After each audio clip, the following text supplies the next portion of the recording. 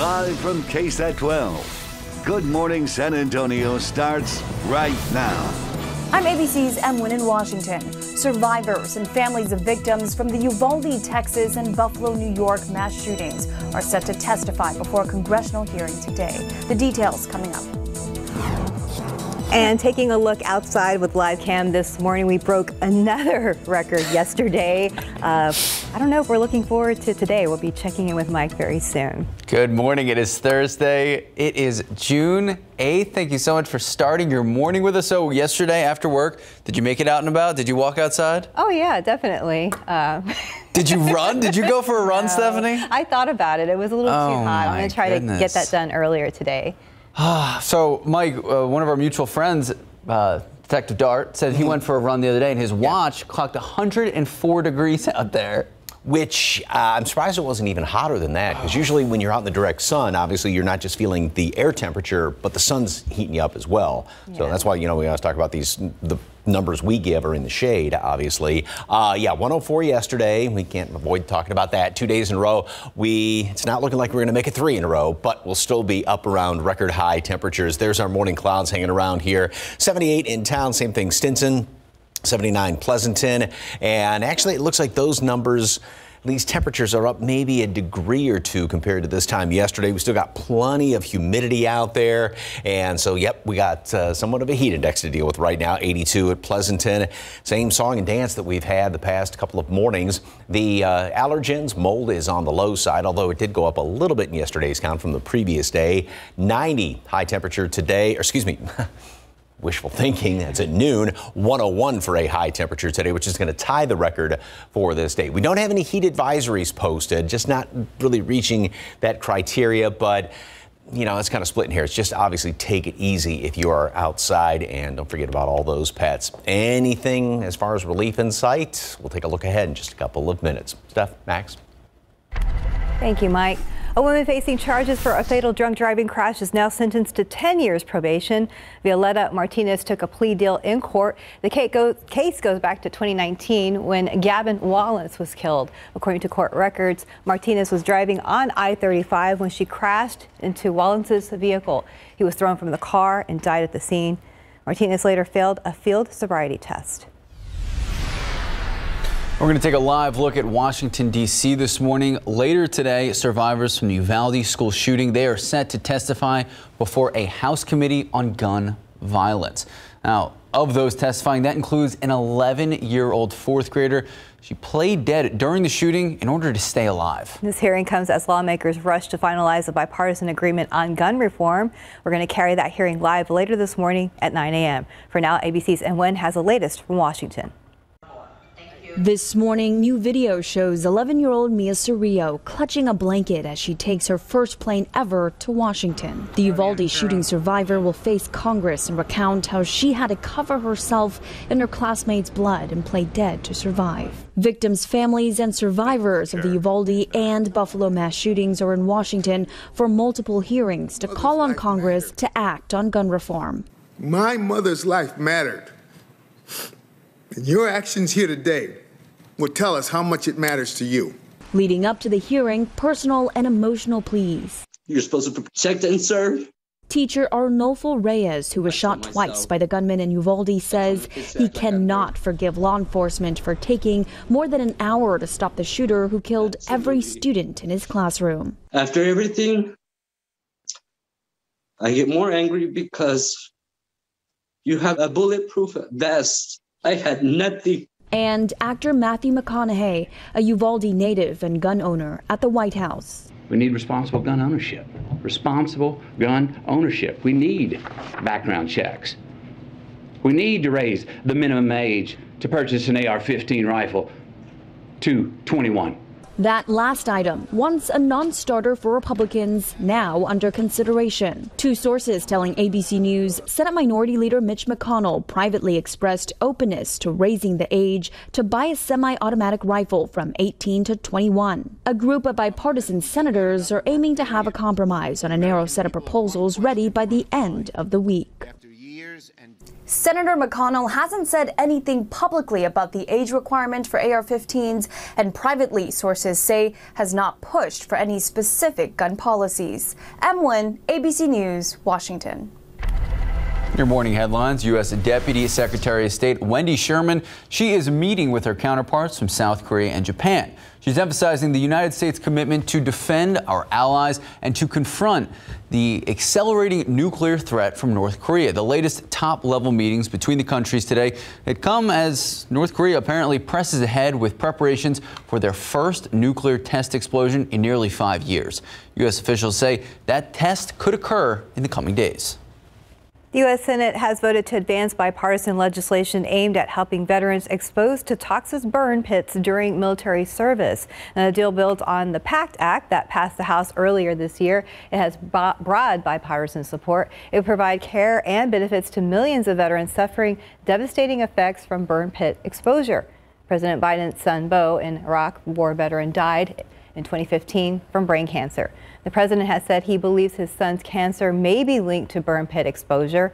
Biden urged Congress to pass legislation during his State of the Union address earlier this year. The Senate will now take up the legislation with the expectation of final passage later this week. And U.S. security agencies now say Chinese backed hackers. They've breached major telecommunications companies. So they reportedly exploited known software flaws in routers and other popular networking gear. The FBI, the NSA, and the U.S. Cybersecurity and Infrastructure Security Agency, they released this new advisory. They say these devices are often overlooked. The victims of the hackings have not yet been disclosed. The Chinese government routinely denies hacking allegations. Time now 436, 77 degrees out. It is time to get a great gift for dad this month. We're going to show you the ones that he's going to like and won't break the bank. All right, so the NBA Finals, they continue tonight right here on KSAT. We're going to tell you how they've gone so far and what's coming up next. Becoming an interesting series. Oh, yeah. And a quick look at the roads with TransGuide, looking out at I-35 at FM 482. Things are moving there for now at 4:37 a.m. A lot of people on the roads this early. I was a little surprised to see that many cars out there. All right, taking a live look out at the Alamo City, 77 degrees now, but if today is like the last couple days or like we expect the next few days, it's going to get hot. We're going to check in with Mike, see how hot it's going to get.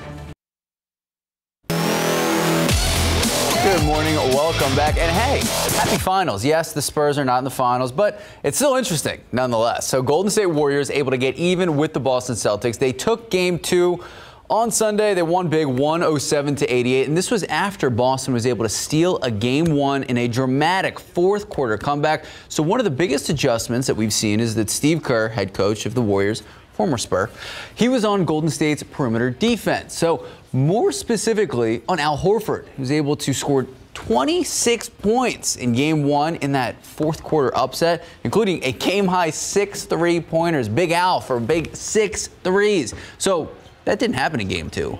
Horford hold to just two points. He didn't even make a three-point attempt. Derrick White, yes, we got to throw some Spurs in here. Derrick White with just 12 after 21 in game one on 4 of 13 shooting.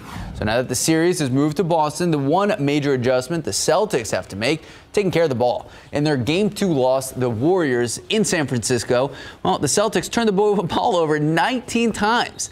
Even if you're not a big basketball fan, you know that's not great because those 19 turnovers resulted in 33 points for the Warriors. Any chance of a comeback went out the window when the Celtics turned the ball over on their first two possessions of the second half. They were outscored 35 to 14 in just the third quarter. So what comes next? Well, we got tip off tonight.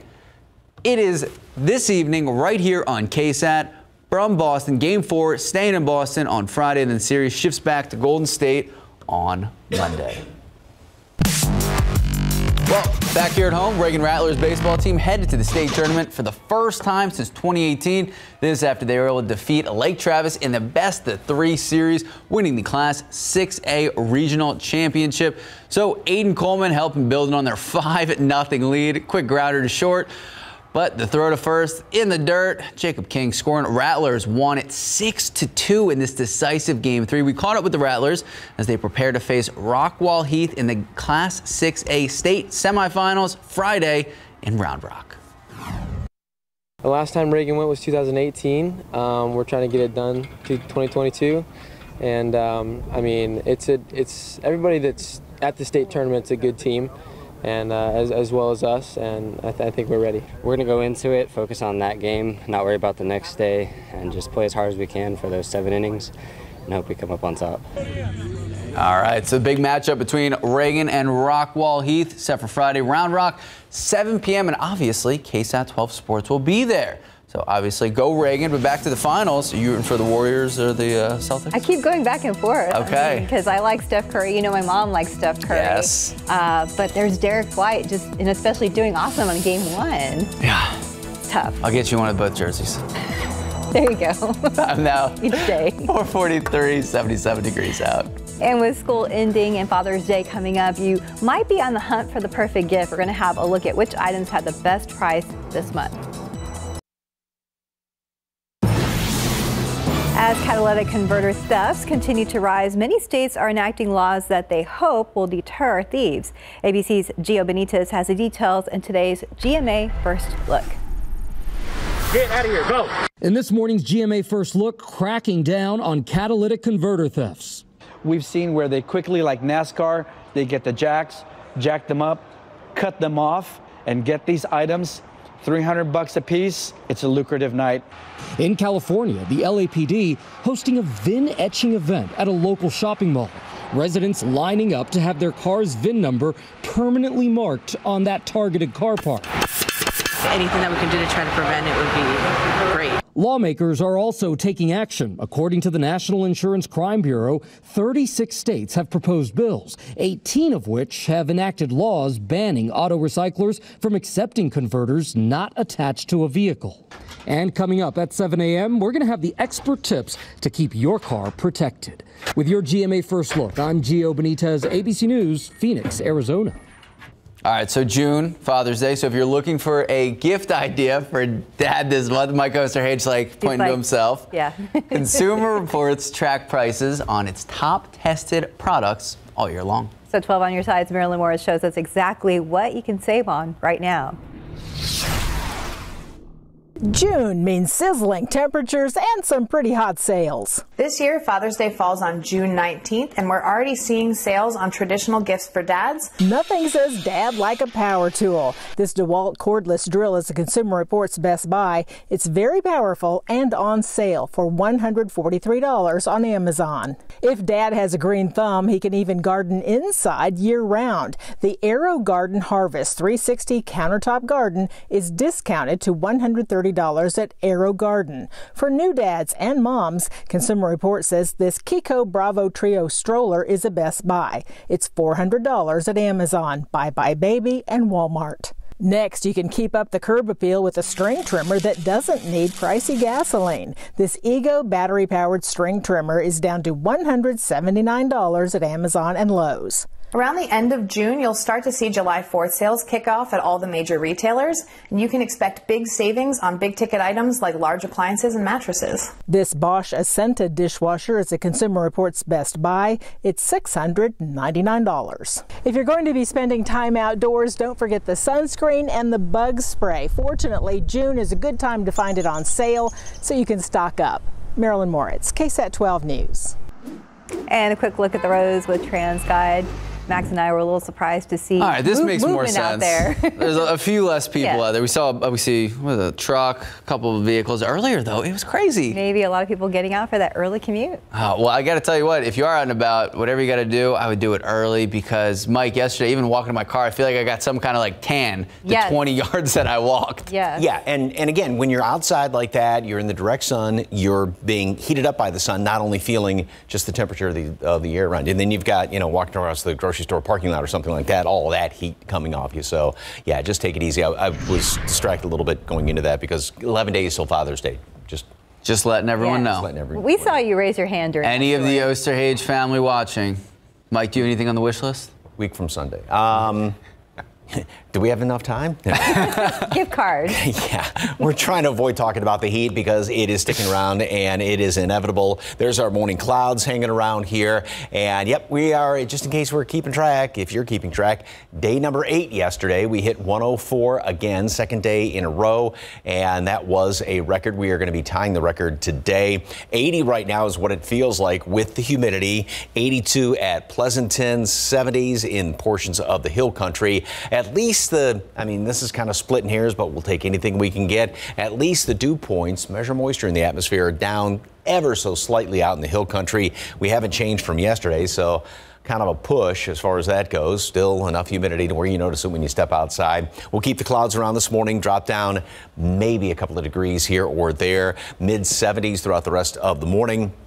And then we'll see a lot more sunshine, make it up in through the mid and upper 80s, in through late morning and by noon up to 90. And it won't be as windy. We'll have a nice breeze out there, but as Mark has described it the past couple of days, it's like a hair dryer on you with this hot temperature. You know, again, walking across a parking lot or something like that, it just it has no help at all as far as the wind is concerned. 101 for a high temperature later on today. Plenty of sunshine, and that will tie the record for today's date. All right, at least we get uh, somewhat of a break in the humidity in the afternoon, so we won't have that much of a heat index to deal with when you get these dew point temperatures that will be dropping down below 60. They'll come back up in the morning and do the same thing tomorrow. So as far as the heat index, it may be just a degree or two above the actual air temperature, so it's not going to be quite as bad if you're in the shade, of course, but uh, it's still going to feel like around 107 down there at Cotulla. And we don't have any heat advisories formally posted, but again,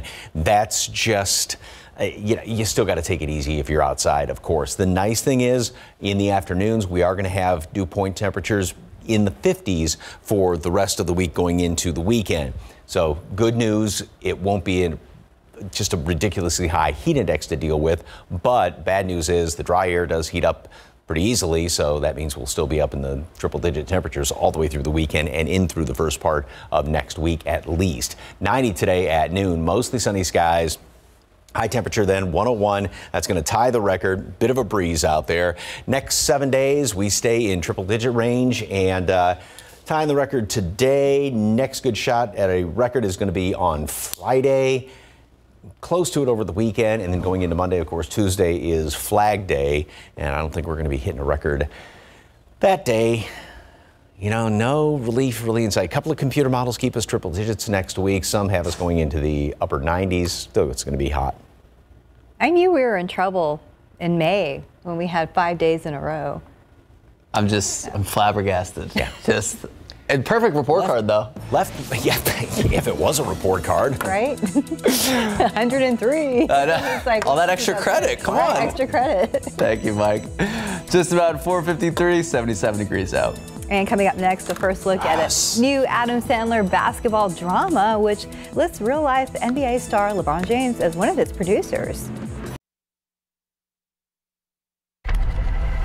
Good morning and welcome back. In your spotlight, a new Marvel series debuting today. I had no idea on Disney Plus. So this is what I've been excited about.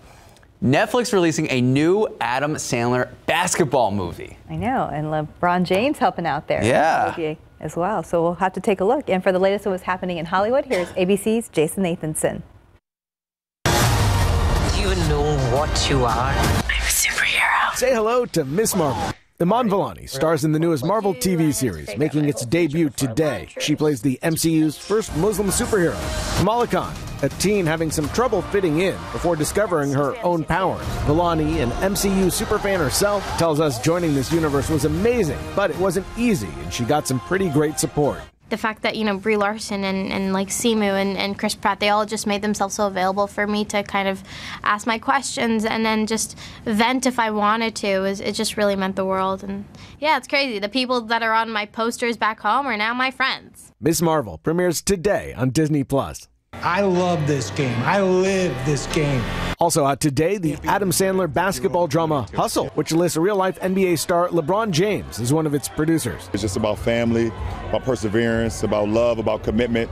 Um, and yes, basketball is the centerfold, but so many life lessons in this, and I'm excited to, for the world to see it. You can find Hustle on Netflix.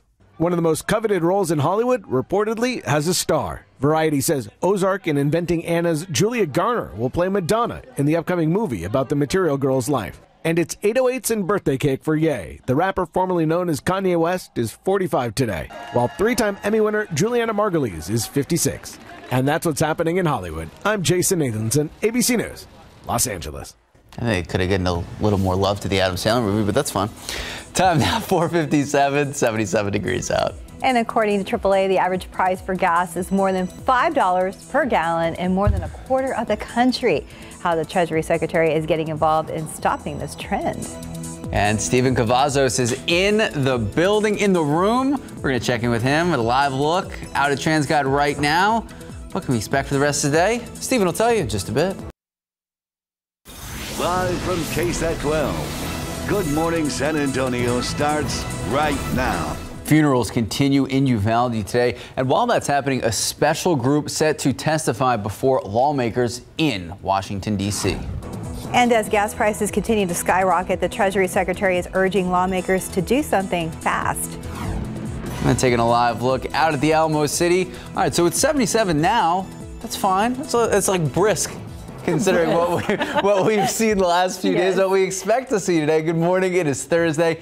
It is June 8th, but really, yes. it feels like July, even August. August, actually. I mean, we're, we're, used to hitting these temperatures much later in the summer, and I guess it's not officially summer yet, but it definitely oh. feels like it, right, Mike? No, we've still got uh, you know a week and a half or so until wow. summer officially begins on the, the 21st, and even the temperatures that we've been seeing, all these triple digits, are hotter than what the historically hottest time of the year is, which is those uh, first couple of weeks of August. 78 degrees right now out there at the airport, and the bottom number is at 70. Dew point, measure moisture in the atmosphere, which means, yep, there's a a lot of humidity out there and is that same kind of 24 hour cycle that we go through. More humidity in the morning, it drops down somewhat in the afternoon. And yep, we are going to be up in the triple digits again today.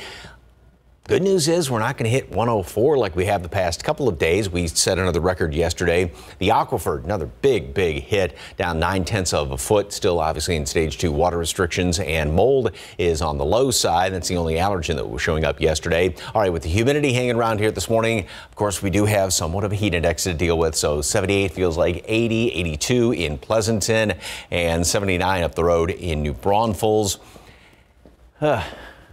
It just it just kind of wears on you, you know, with all these hot temperatures. Some clouds around this morning, obviously very, very warm. And then throughout the rest of today, mostly sunny skies. 101, that's going to tie the record for today's date. So three records in a row have either been set or will be tied later on today. We're going to stick around with triple digits, I should say, will be sticking around throughout the rest of the week, going into the weekend. Still very, very hot all weekend long, and we're looking at triple digits at least into the first part of next week. Take a look ahead and see if there's any any sort of changes coming up anytime later, not sooner, but later. Details in just a couple of minutes. Traffic Authority, Stephen, what's going on? Good morning, sir. Not a whole lot, Mike. Thankfully, things are looking okay over here in the traffic lab, and out on the roadways, a lot better. Let's go ahead and get a look around town, and you can see what you can expect right now for your morning commute. US 90 at 410. Again, just some quiet roads. I-10 at Hildebrand drove by there a little earlier, and actually enjoyed the drive to work today. So you'll probably do the same, especially if you have to head out the door in the next few moments. You can see just, again, lots of pavement and, of course, lots of green on the screen. But we always know that there are several active construction spots to be on the lookout for. Uh, this is new. This crash icon that popped up near Von Ormy near 410. We'll have to find out what's going on there and give you those details a little bit later on. But thankfully right now, still early in the morning to where we're not seeing so much of an impact for anybody's drive time. And if your destination is the Alamo City, well, let's check out those travel times because a journey from Boerne in those eastbound lanes, we're looking at a 25 minute drive time in the eastbound lanes of I-10. Now coming in from Bulverde, no need to hurry, 28 minutes on 281 southbound. And we're looking at 26 minutes if you're traveling on I-35 southbound coming in from New Braunfels. So we are just about green across the board there. But back here, lots of pavement again. We'll continue to watch the roads closely, but keep in mind active construction spots. So we'll give you some of those details coming up a little later on. Guys. Thank you, Stephen. New this morning, San Antonio firefighters working a fire at a bicycle shop overnight. So take a look. All of this happened around 10 last night. This is the 1800 block of East Commerce. It's, it's near South Monumental Street on the city's east side. Firefighters on the scene telling us it was an electrical issue that caused a small fire in that repair station at the bike shop. A bike shop connected to a CBD shop. Now, firefighters did have some trouble getting into the building, but they were quickly able to knock down the fire once they did make entry. A damage mainly to content in the bike shop because the building was mostly brick. We're remembering Uvalde. Today's services will be held for 10-year-old Annabelle Rodriguez. The funeral service will be held at noon at Rushing Knolls with a ceremony following at Hillcrest Cemetery. All right, and while all of this is happening, we know a lot of people testifying in front of Congress today. That is why we're going to take a live look at Washington, D.C. this morning. Later today, like I said, survivors and families of victims killed inside Robb Elementary, they will be at our nation's capital testifying about gun violence. Alexandria Lexi Rubio's parents, they will be sharing their testimony virtually. Meanwhile, a fourth grader who covered herself in her friend's blood and pretended to be dead, she's testifying in person at the Rayburn House office building. Dr. Roy Guerrero, Uvalde's only pediatrician, he will testify as well in person. He told ABC News it is his duty to the children to share his experience as we say in the Hippocratic Oath, to do no harm, right? And I feel doing nothing is being neglectful to that oath. U.S. House Committee on Oversight and Reform is made up of Democratic and Republican members. Each witness on the first panel will testify for five minutes. Committee members won't be asking questions out of respect for their time and the trauma that they've been through. We're going to have live updates from the hearing on GMSA at 9 a.m. and, of course, KSAT.com. At the state capitol, Governor Greg Abbott has steered away from gun restrictions. Instead, he is focused on school security. iWatch Texas is a system that allows you to alert authorities online, over the phone, or through an app. You would use it if you see anything or anyone acting suspiciously that could indicate school safety related threats. So it's been around for years. However, the governor wants the Texas Education Agency, the Texas Higher Education Coordinating Board, and DPS to do more to promote the program. You can find out more about it on the website, which is iwatchtx.org. And our coverage in Uvalde continues online. We have the list of visitations and funerals on our website at ksat.com. We also have a list of the official funds for the victims in Uvalde if you would like to donate. Now to the latest on inflation, and if you've been to the gas station, record high prices. Looks like things may actually get worse before they get better. U.S. Secretary is calling on Congress to take action. ABC's Andrew Dymburt has the details. This morning, Americans are spending $700 million more on gas every day than they were at this time last year. We now have 14 different states where the average has already surpassed that $5 gallon mark and seeing some tremendous increases. In just the last week, the average price for gas in Michigan jumping 51 cents, in Indiana up 48 cents, in Ohio 46 cents. There's no relief in sight due to soaring demand overseas and supply concerns due in part to the war in Ukraine. And now hurricane season could send prices surging even higher. This overall era of high prices could stick around for several years. Keep in mind if a hurricane hits refineries or oil production, it could take months for supply to get back to normal. Airfares are also climbing due to higher fuel costs. The average cost of a domestic round trip is now $410 compared to $283 last June. We now are entering a period of transition. On Capitol Hill Tuesday, Treasury Secretary Janet Yellen called the inflation we're seeing unacceptable. She urged Congress to provide more affordable housing and bring down prescription drug prices. And she pushed back against those who blame the Biden administration's spending policies, including pandemic stimulus checks, for fueling today's inflation. In designing a policy, there are various risks that need to be taken into account. Of course, inflation was one of them, but the overwhelming risk was that Americans would be scarred by a deep and long recession. And back to gas prices, we're fast approaching a national average of just about $5 per gallon. Analysts say that milestone will likely prompt more families to take a closer look at their spending habits. Andrew Dymburt, ABC News, New York. know, I'm like doing everything I can to hit cruise control, Yeah. Go from point A to point B. Walk places, bike maybe. Yeah, I'm like limping places right now. Time now 509, 77 degrees out. And the heat continues to be a big story. Haven for Hope is offering even more help to the unsheltered. They're going to offer mist fans in the courtyard and air conditioning inside their facility. However, they say they are in need of summer clothing, including shorts and t-shirts for men, women, and children. You can take your donation to the center on One Haven for Hope Way. And next, we check in on Harini Logan, finally back in San Antonio. Remember, this comes after winning the Scripps National Spelling Bee. I watched some of the clips, the speed round specifically. Oh my goodness. Super impressive. Yeah, it's amazing. And taking a look outside with live cam this morning, we're at 77 degrees for now, but you know, just a hint, we broke a record yesterday and the day before, and I think the day before as well. Hang in there, guys. We'll be right back.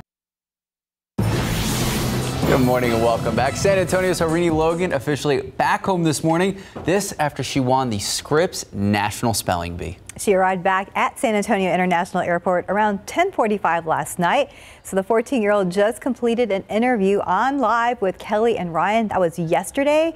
And that's actually where she got the trophy that she was holding. She will get the real spelling bee trophy later. Now she won a little over $50,000 in cash and prizes. All right, so she said she plans to save the majority of it for college, but also interested in investing in the stock market, giving back to some of the community to advocate for literacy. Now, Logan has been known as one of the country's best spellers for years, having competed in the last fully in-person spelling bee three years ago.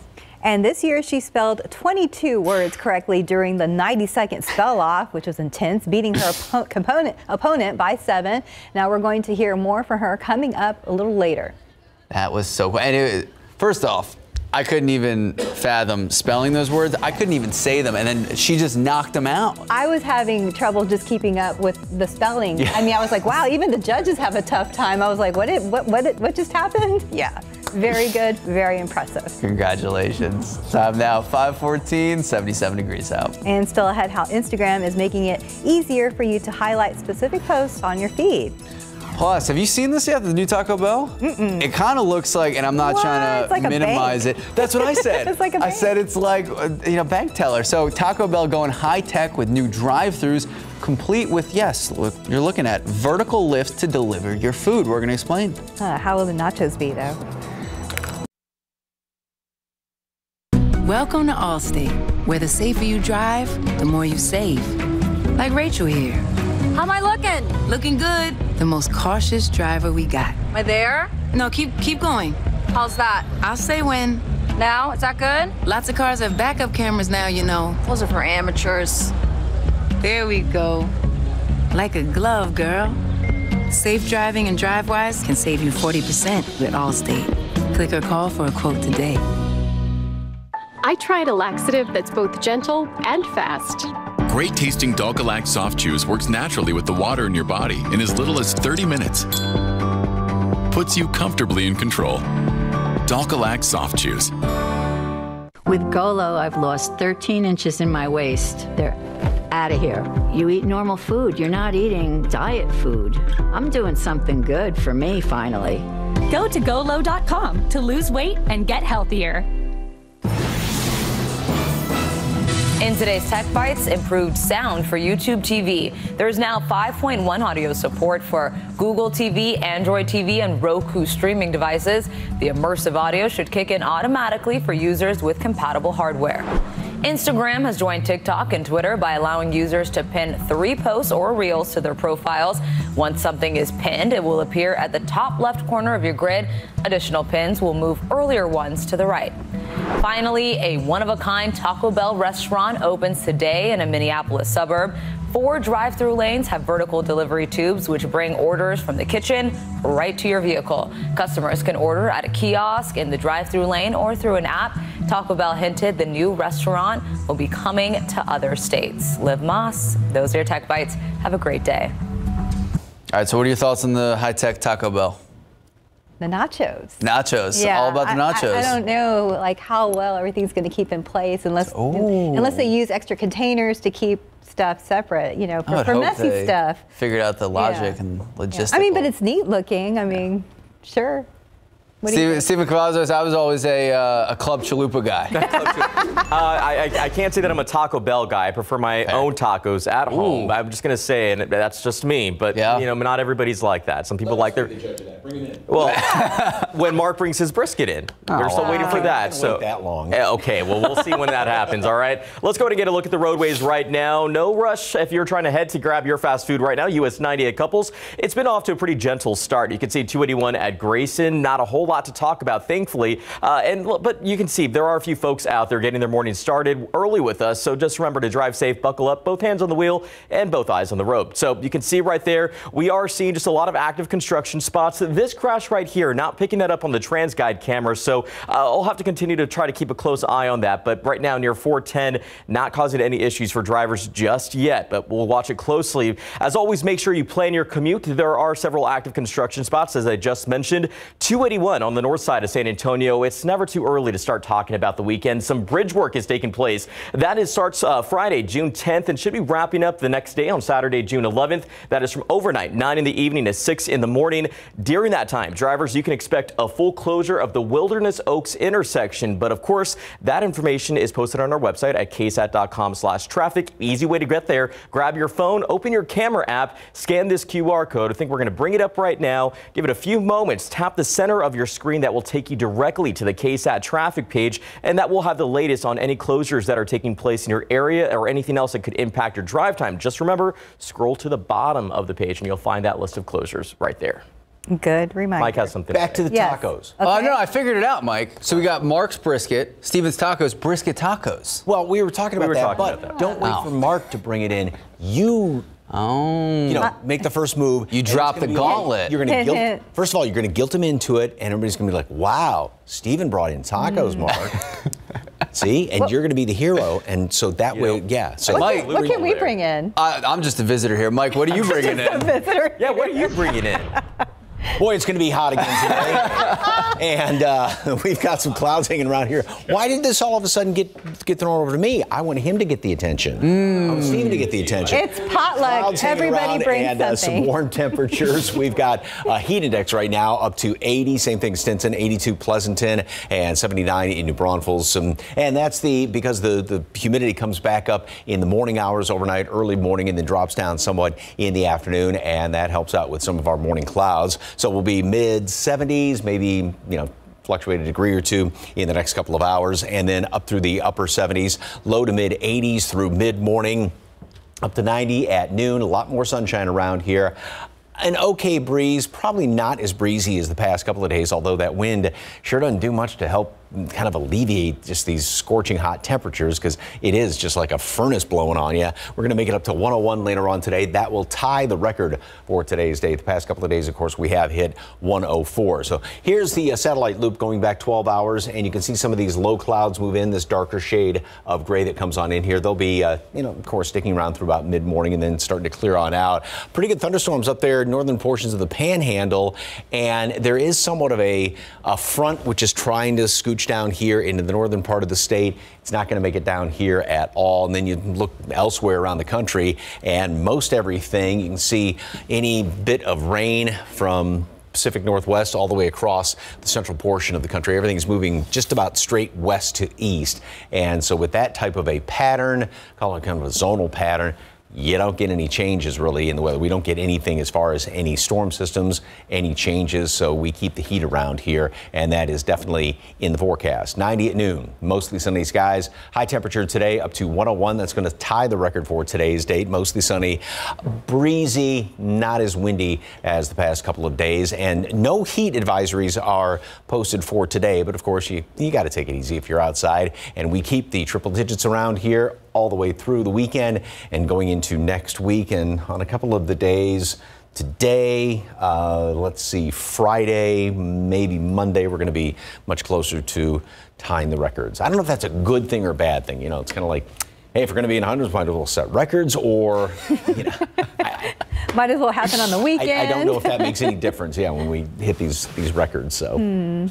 Well, I mean, we'll, we'll power through it. bad enough that it's triple digits. Yeah. It's hard to believe that in April Yeah, right. In April, like Fiesta time, which was early this year, we were wearing jackets. It was morning. chilly, yeah, Yeah. That, that morning for the Battle of Flowers. And here we are. Yep. I think the important part is just stay safe. Be smart. You cannot beat the heat. Let's go back to talking about uh, Cavazos' uh, tacos. I'm waiting for you to bring something in here, Mike. We'll think about it. He needs to be the hero. Time now, 524, 77 degrees out. And coming up next in your morning spotlight, Julia Garner to reportedly play Madonna in a new film and a first look at the Predator prequel, Prey.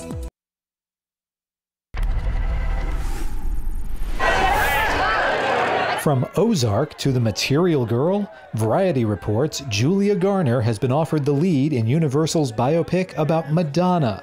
The Emmy winning actress had been considered a frontrunner for the highly coveted role. Madge herself, the queen of reinvention, is set to direct the film.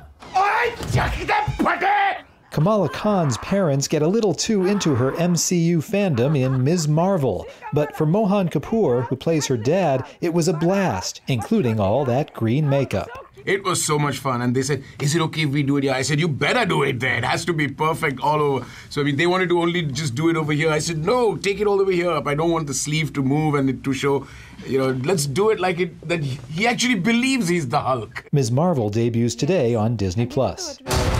It knows how to hunt. I know how to survive.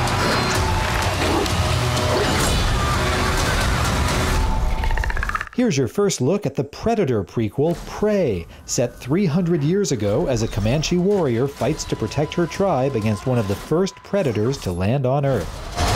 Whatever did this, I can kill it. Prey debuts August 5th on Hulu. In Hollywood, I'm David Daniel. Looks good. Looks intense. Yeah. yeah. I'm intrigued. All right, Me time too. now, 528, 77 degrees out. And still ahead on GMSA in the aftermath of numerous mass shootings, lawmakers are negotiating gun reform on Capitol Hill. We're going to have a preview of today's testimony from survivors coming up next. Families of victims and survivors of the Uvalde school shooting set to give testimony in front of lawmakers later this morning. And taking a look outside with live cam, we're at a calm 77 degrees for now, but things will heat up this afternoon. I like how you say calm. Yes, because we're going to enjoy that 77. You know, you walk out, you're like, oh, it's going to be a great day, but yeah.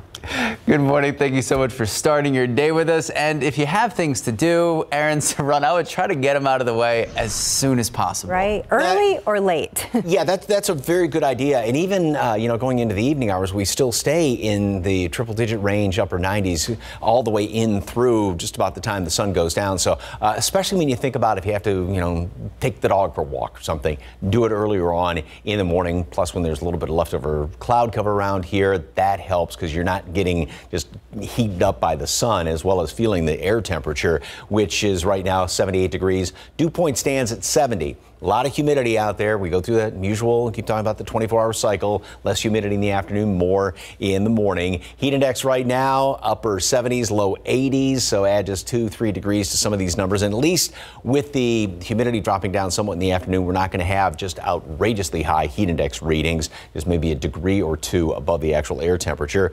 Although it sure doesn't help when we're up in the triple digits. Mold is on the low side from yesterday's pollen count. And yep, we are going to be hitting 101 today. Least we break the streak of two days in a row 104, both records.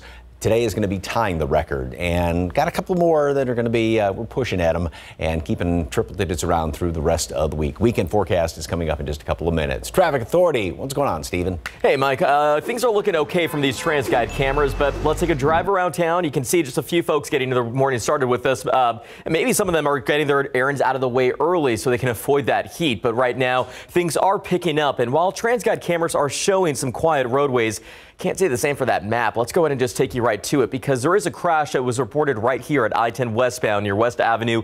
Uh, I'm trying to get our friends at TransGuide to show us uh, the conditions out there, but we are able to see some flashing lights, some road flares, and again, hopefully we can bring that shot to you a little bit later on. But thankfully, uh, it doesn't look like it's causing any problems. Again, that's in the westbound lanes of I-10. So if you're trying to make your way up to 1604, you'll likely encounter that. So just remember, move over, slow down for those first responders that are out there. Uh, we'll work to bring you that information as the morning does go on, but thankfully elsewhere, looking pretty quiet around town as we get that bird's eye view of the map. The big thing is going to always be those active construction spots. And as the morning stays quiet, we'll continue to bring you that information. But right now, travel times aren't looking too bad just yet. So keep in mind, though, 31 minutes if you're coming in from Seguin and those westbound lanes of I-10. La Vernia, right now, just 21 minutes if you're trying to get into the downtown San Antonio area and a 28 minute drive time heading in from Floresville. So our friends uh, don't really have any issues to worry about in terms of the commute. But right here back the, at home, we're seeing just some quiet roadways. Again, the big problem back on I-10 uh, near West Avenue. We'll work to bring you that shot a little bit later on, guys. Hey, Steven. New this morning, fire has caused damage to home on the south side, and firefighters say there's a good chance did not start on its own. No one was living in the home near the corner of Vincent Street and Palo Alto Road. Katrina Weber is there with a live report. And Katrina, are they calling this an arson case? Well, firefighters never used that word, but they did say that investigators are taking a long, hard look at this fire. They say there was no one living in the home and there were no utilities, so really no reason this fire would have started by itself. Uh, the fire was in a home. It's difficult to see from here, but if we can show you the video so you can get a better look. Uh, the fire broke out around 4 o'clock this morning. Firefighters say that they found heavy fire on the outside of the home. Uh, the, the home was boarded up, and again, no one living here. They called it a rent home, and they say it had been vacated recently. They were able to knock down those flames really quickly, and they say that there wasn't a whole lot of damage from this fire on the inside, but there had been a fire there before.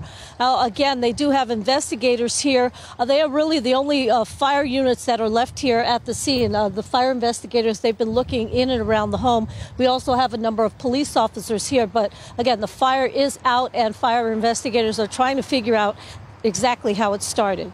Reporting live on the south side, Katrina Weber, KSAT 12 News. Thank you, Katrina.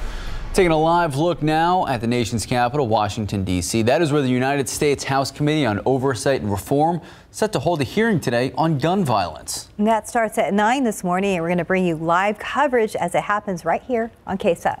In the meantime, our Lee Waldman on Capitol Hill discussing what we expect to hear out of the hearing. The bipartisan committee is going to hear directly from the people impacted by mass shootings, including the families of victims and survivors of the Robb Elementary School shooting. There needs to be a change. There's no doubt about it. They know. They know. It's been exactly two weeks since Amerie Jo Garza was killed inside of her classroom at Robb Elementary. Now her father, Alfred Garza, is demanding change by elected officials. It's about people right now, is what it's about. And um, there's no gun out there that's worth more than my daughter's life. While he won't be present at Wednesday's hearing inside of the Rayburn House office building on Capitol Hill Wednesday, fourth grader Miah Cerrillo will be on the first panel. She's previously described covering herself in her friend's blood and pretending to be dead so she wouldn't be shot. Dr. Roy Guerrero, Uvalde's only pediatrician, will be here too, telling ABC News it's his duty to the children to testify as we say in the Hippocratic Oath, to do no harm, right? And I feel doing nothing is being neglectful to that oath. The parents of 10 year old Alexandria Lexi Rubio will testify virtually. The U.S. House Committee on Oversight and Reform is made up of Democratic and Republican members. The Texas members have all shared their condolences for the families on social media outlets, but have not shied from sharing what they believe the issue is. North Texas Congressman Pat Fallon writing in part, quote, we must harden our classrooms. Children should feel safe when they go to school, but taking everyone's guns is not the answer, unquote. Senator John Cornyn is not on the committee, but when asked about raising the age limit on assault style weapons, he says there are several discussions in the works. I think a, a, focus on mental health and criminal background history is probably going to be the most productive. Each witness in the first panel will only testify for five minutes. Committee members won't be asking any questions out of respect for their time and the trauma they experienced. On Capitol Hill, Lee Waldman, KSAT 12 News. In your morning headlines, a group of about 2,300 people on their way to the United States after leaving a city in southern Mexico. The United Nations High Commissioner says for refugees, the group is comprised mostly of Venezuelans, but also include migrants from Nicaragua, Cuba, El Salvador, and Honduras. Now, officials say the group is mostly families and children. This caravan gathered partially in protest of immigration policies and said it would be weeks before they arrived at the United States southern border, assuming they all make it here. Oh, caravans often dwindle in size as they head north. In Virginia, authorities evacuated more than 100 passengers, including children, from a cruise ship after it caught on fire. Students from a kindergarten and fifth grade class were among the roughly 110 people on board the Spirit of Norfolk. That was yesterday. Now, crews towed the vessel to Naval Station Norfolk and used foam to help put out the remaining flames. They say the flames were mostly on the interior of the ship. There are no reports of injuries. All right, from throwing passes in the Super Bowl to serving up delicious burgers. Yes, I said that right. Kansas City Chiefs quarterback Patrick Mahomes now a proud owner of a Whataburger location. So the location opened just yesterday in Kansas City. Yes, Kansas City, not Texas. It is the first one directly associated with Pat Mahomes and the ownership group KMO Burger.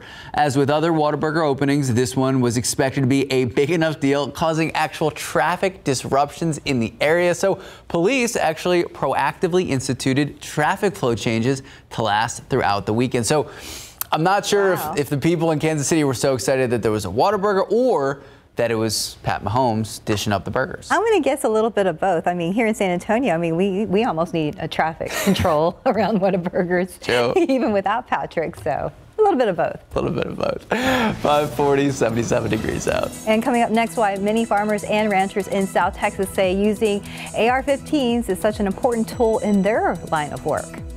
All right, let's take a live look out at the Alamo City. Like we've been saying, 77 degrees now. Please enjoy it while it lasts because Oof, triple digits. Good morning and welcome back. So lately, we've been talking a lot about AR-15s, and a lot of it has obviously been negative. However, they say that AR-15s is an effective tool for ranchers and farmers in South Texas. RJ Marquez has that story. Joseph Meyer works with South Texas farmers and ranchers who hires helicopter service to shoot and kill feral hogs. The AR-15 is used quite a bit uh, from the air and from the ground. The AR-15 is also used by state wildlife officials who conduct daily operations to control the wild hog population. So ground shooting not only removes individual pigs, but also sends a signal to other pigs in the sounder that that's not a safe place. Mike Bodenchuk is the state director for the Cooperative Texas Wildlife Services program. He says these invasive species cause millions of dollars in damages to land and crops. We estimate damage to agriculture and natural resources in excess of $500 million a year in Texas alone. And while the state uses different methods to treat the problem, weapons like the AR 15 remain one of the department's most effective tools. Last year, we removed over 51,000 feral pigs to protect crops and agriculture. Meyer is a landowner also and believes more needs to be done for gun regulation, but eliminating the AR 15s altogether is not the answer. Laws on age and stuff like that could make a difference. Mr. Meyer has been in business out here in Jourdanton for nearly 20 years, speaking with many farmers and ranchers. He's taken many of them out there on helicopter hog hunting trips, and he says that the use of an AR-15, according to these farmers and ranchers, is one of the most effective ways to control the feral hog population. And while the debate over the use of AR-15s remains front and center, Meyer and others feel that these types of firearms are needed for the livelihood of many people in rural farming areas. If the control were not in place, both landowners and government control, we would lose some of our agricultural production, which is our second biggest uh, commodity in Texas. RJ Marquez, KSAT 12 News. Time now, 545, 77 degrees out. And coming up next, the Animal Defense League is Aww. standing by with a pet that really wants to go to a new home. Well, a couple of them there.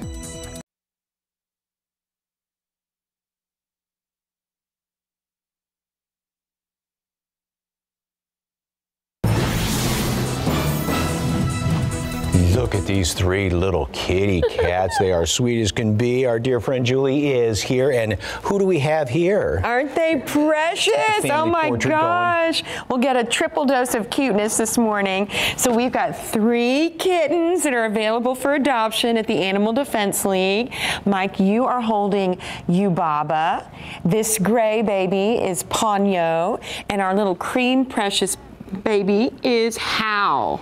Feel free to rename if you'd like to. I know, right? you know, and the nice thing uh, about kittens uh, and cats, two, three, basically the same as one. I mean, they'll all use the same litter box, the same feed, and they kind of take care of each other. So you don't really know. And it is kitten season, obviously. It's I mean, big got a time kitten season, them, so. and you're exactly right, Mike. Um, actually, in all the catteries right now, we have literature out about how adopting uh, multiple kittens. There's a lot of benefits to that. They Mhm. entertain each other. They're so cute. They play. It's like the most fun thing you've ever seen. Okay, and you want to brag a little bit and give a special thank you, right? We do.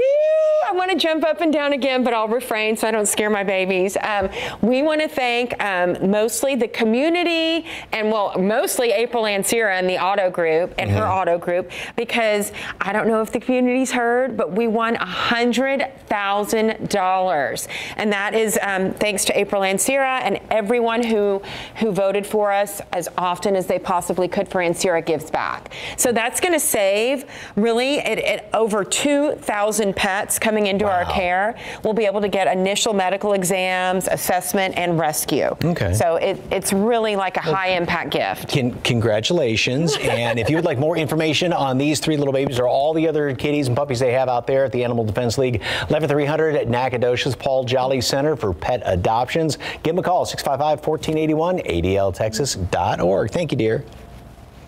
Gotta hand it to you guys. That's a lot to handle, those three kittens. But uh, all of them named after Studio Ghibli films. Uh, so I thought that was pretty cool. Uh, let's get a look at the roadways right now because they are looking pretty cool as well. You can see 281 at Jones Maltsberger. The morning is off. People are moving.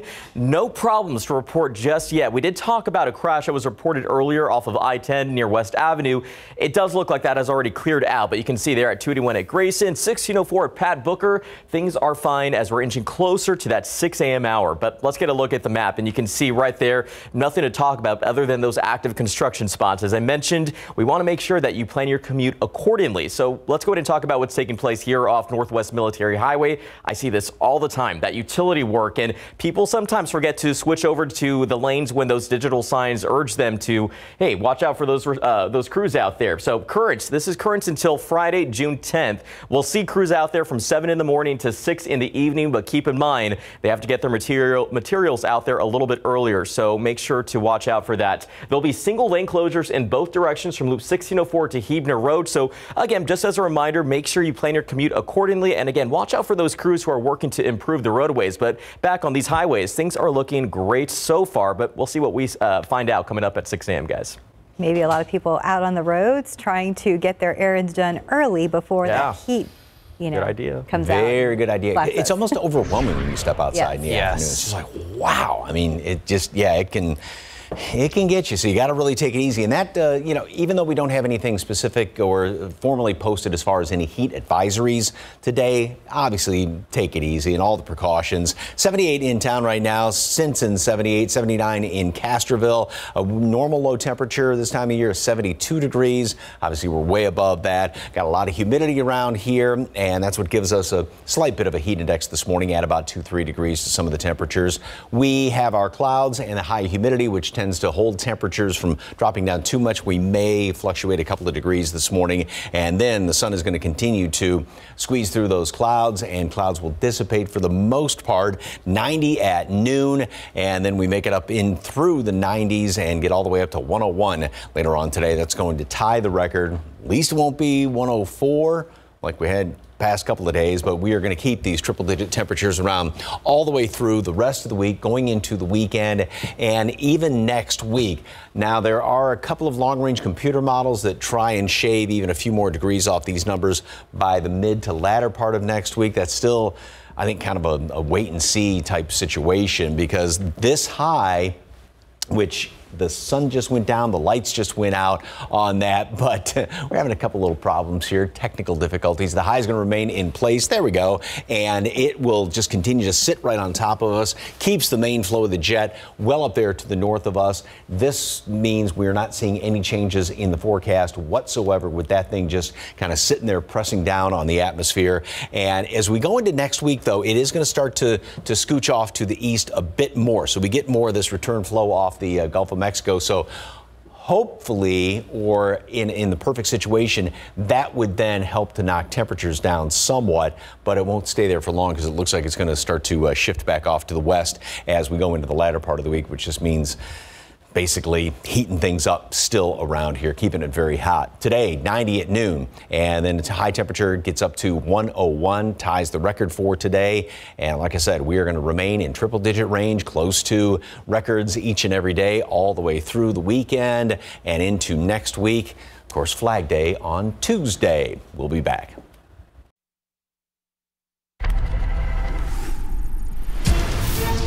Good morning. Coming up here on GMA, that high stakes hearing on Capitol Hill. The families and survivors of the Uvalde and Buffalo mass shootings are calling on Congress to act, including an 11 year old from Robb Elementary School that survived.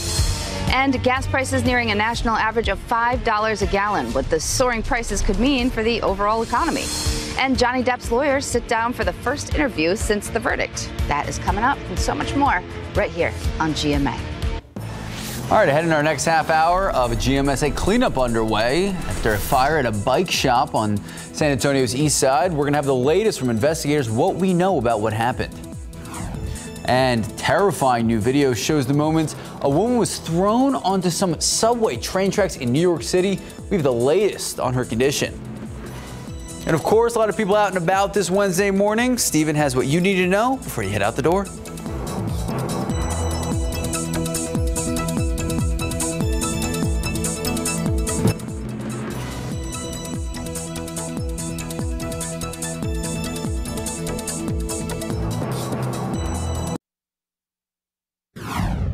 This morning, testimonies set to begin in our nation's capital from families of the victims of the Uvalde shooting. We're going to have a preview. And in your consumer headlines, you are never going to guess how much this basketball card, yes, just a basketball card, how much went for at auction. Hint, there's LeBron James card. Yeah, another hint, a lot. Taking a look outside with live cam, we're at a nice 77 degrees for now. Let's enjoy that, enjoy the moment. Live from KSAT 12. Good morning, San Antonio starts right now. Good morning, and thank you for starting your Wednesday with us. It is June 8th. So I, am going to go to the basketball card. What is the basketball card that you would want more than anything else? Oh, that's hard. I feel like I know I your answer. Well, one of the three. Yeah. Yeah. Tim Duncan. Right, or Manu, or Tony Parker, or all three. Right? Can they come as a package deal? Oh, I feel like that'd be pretty expensive. Yes. All right. You know what else is going to be expensive this month? Uh, Don't your say it. electric bill. Electric bill, Mike. Oh my! So I've done a good job keeping it at 78 during peak hours. But That, yeah, that, that helps out. You know, a lot of times your air conditioner can't even keep up Yeah. with the, the hot temperatures. So that's uh, the real downside. Yeah, do as much as you can to try and conserve energy. You know, if you can use ceiling fans uh, when you're in the room, don't leave them going when you're out of the room because they don't do anything. Uh, but when you're in there, ceiling fan is going to at least make it feel slightly cooler in the uh, the specific room. So we got a lot of clouds hanging around here this morning. 78 degrees, still holding steady. 79 Stinson and mid upper 70s up there toward Canyon Lake. Lotus at 77, excuse me, 76 right now. And uh, humidity, yeah, it's still very, very humid out there. I think that may be a uh, erroneous reading coming in from Stinson. I don't believe the dew points dropped down to 61. That would be nice, but we will see dew points drop down later on today, so we're not going to have that much of a heat index to deal with. Right now, there is a slight bit, though. It feels like 81 at Castroville and 80 at Stinson out the airport and also Pleasanton. Mold is on the low side. The updated pollen count is going to come out in about an hour, hour and a half or so. And throughout the rest of today, temperatures, we may fluctuate another degree or two up or down. And all those clouds, they're going to start to clear on out by later on this morning. We'll make it up to the upper 80s and 90 at noon and then continue up at about 10, 11 degrees to that. The normal high temperature is 92, so we're going to be just about 10 above normal. 101, it's going to be a new record high. We don't have any formal uh, heat advisories posted, but even though, you know, it's not on a, a graphic or a map, you got to really take it easy if you're outside. Anything that looks like not triple digits in the forecast. We'll take a look ahead in just a couple of minutes. Traffic Authority, Stephen Cavazos, what's up? Hey, flashing lights out here, Mike 35 at Splashtown. Not really something we'd like to see as we're starting uh, so the 6 a.m. hour, but you can see that closer look does show it appears to be a stalled vehicle that was reported. Uh, thankfully, it's not causing so much of an issue for traffic, but just check out how vehicles are slowing down. That's essentially what you should do and make sure to move over. Uh, that is, we want to make sure we give those first responders plenty of room, but it is still very dark outside. So just remember, they could be out there working to assist that stranded driver. Hopefully, this will wrap up pretty soon. But again, move over, slow down. Those are the rules of the road. Let's go ahead and talk about what we're seeing here on the map because another stall we're adding to that list is right here off of Loop 410 eastbound at Somerset Road.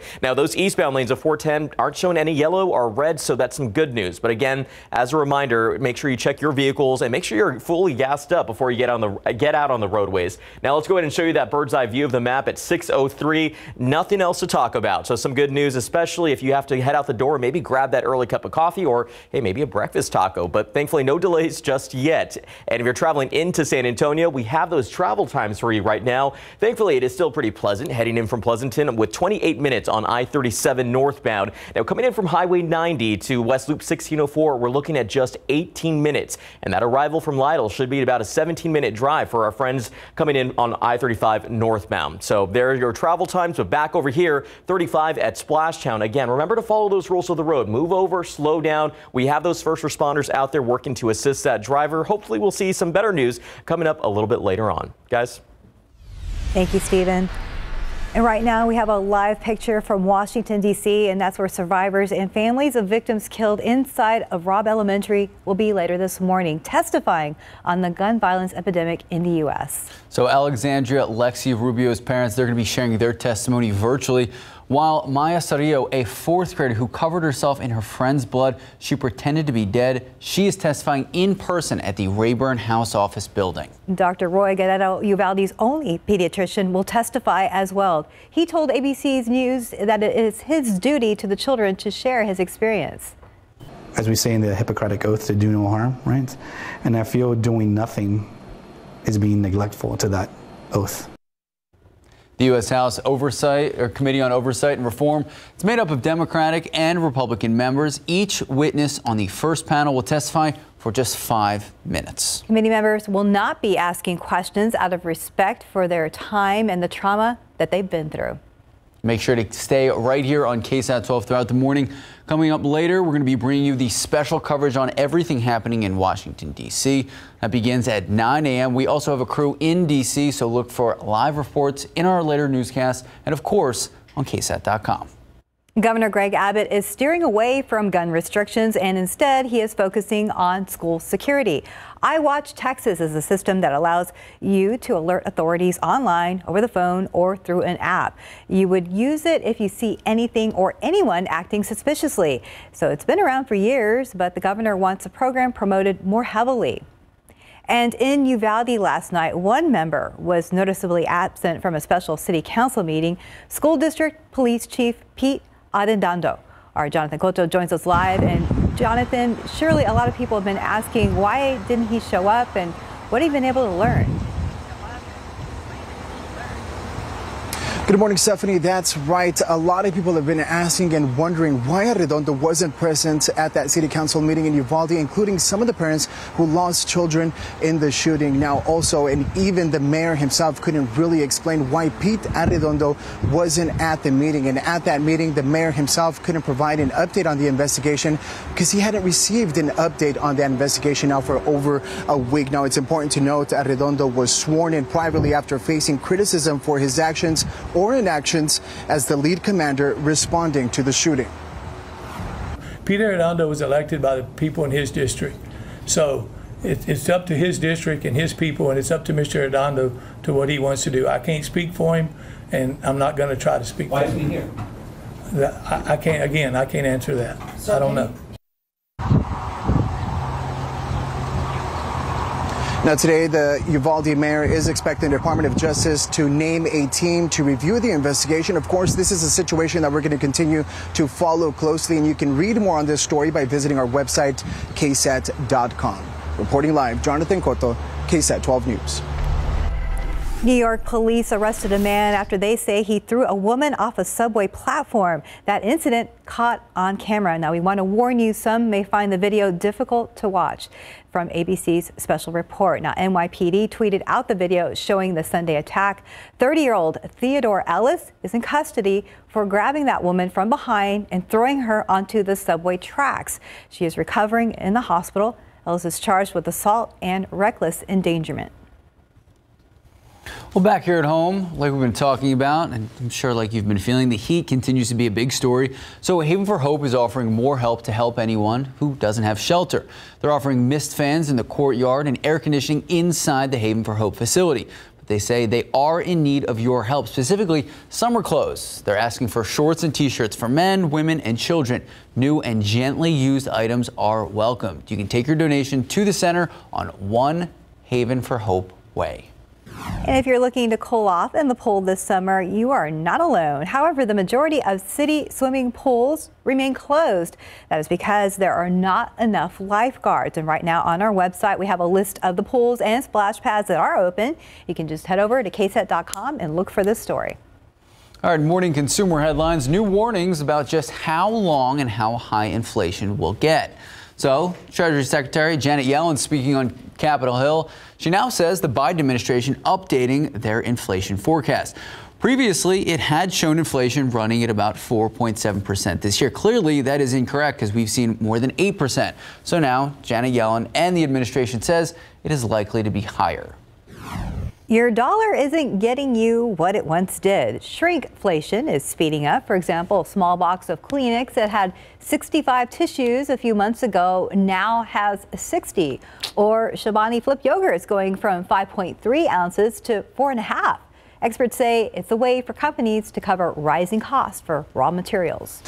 And it was what we've been talking about throughout the morning. So auctioneers are calling it the holy grail of sports collectibles, a one of a kind LeBron James trading card. And guess how much it's going to sell for? Too much. That's a great answer. It's expected to sell for more than $6 million at auction. So the triple logo man card, it's a single issue and it's pretty cool. It features the 18 time NBA All Star LeBron James with patches from jerseys that LeBron wore with the Cavs, Heat, and Lakers. So when the card was issued, it set off a hunt among collectors. Some have compared to searching for, yes, Willy Wonka's golden ticket. it was finally discovered after a year-long hunt during a live social media event. So $6 million seems like a lot. I'm just going to throw it out there. Yeah, I think a lot of people would agree with you on that one. I mean, although very rare, very rare. I mean, once you get that, you're really going to have to put it on display. I mean, a case, a light, A I mean, safe. A safe, yeah, or that. Hide it away. Time now, just about 6:11, 77 degrees out. And still ahead on GMSA as testimonies on gun reform are set for this morning in Washington. Victims of the Uvalde mass shooting are still being laid to rest. We're going to tell you about the funeral service scheduled for today. And we're also going to show you terrifying security video that shows the moments a 12 year old boy allegedly holds a gas station clerk at gunpoint. Also, just ahead, the pain at the pump continues. We're going to tell you when experts say those gas prices may start to come down. Now, let's take a quick live look out of the Alamo City. 77 degrees out there now. What are we, what are we calling this? Like a cold 77? in comparison cool. to cool. cool 77. Uh, triple digits again. How hot is it going to get? We're going to check it with Mike Osterhage in just a bit. Good morning and welcome back. So, when was the last time you got gas? A couple of days ago. How bad was it? It was pretty bad. Yeah. painful. So now on the crisis that's on just about everyone's mind, inflation and of course, what we're just talking about, the record high gas prices. It looks like things may get worse before they get better. The U.S. Treasury Secretary is calling on Congress to take action. ABC's Andrew Dymburt explains. This morning, Americans are spending $700 million more on gas every day than they were at this time last year. We now have 14 different states where the average has already surpassed that $5 gallon mark. And seeing some tremendous increases. In just the last week, the average price for gas in Michigan jumping 51 cents. In Indiana, up 48 cents. In Ohio, 46 cents. There's no relief in sight due to soaring demand overseas and supply concerns due in part to the war in Ukraine. And now, hurricane season could send prices surging even higher. This overall era of high prices could stick around for several years. Keep in mind, if a hurricane hits refineries or oil production, it could take months for supply to get back to normal. Airfares are also climbing due to higher fuel costs. The average cost of a domestic round trip is now $410 compared to $283 last June. We now are entering a period of transition. On Capitol Hill Tuesday, Treasury Secretary Janet Yellen called the inflation we're seeing unacceptable. She urged Congress to provide more affordable housing and bring down prescription drug prices. And she pushed back against those who blame the Biden administration's spending policies, including pandemic stimulus checks, for fueling today's inflation. In designing a policy, there are various risks that need to be taken into account. Of course, inflation was one of them, but the overwhelming risk was that Americans would be scarred by a deep and long recession. And back to gas prices, we're fast approaching a national average of just about $5 per gallon. Analysts say that milestone will likely prompt more families to take a closer look at their spending habits. Andrew Dymburt, ABC News, New York.